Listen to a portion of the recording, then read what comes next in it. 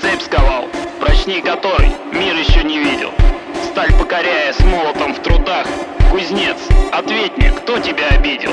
Кто сделал кандалы, что на твоих руках? Когда-то в них была твоя свобода, но ты значения ей не придавал.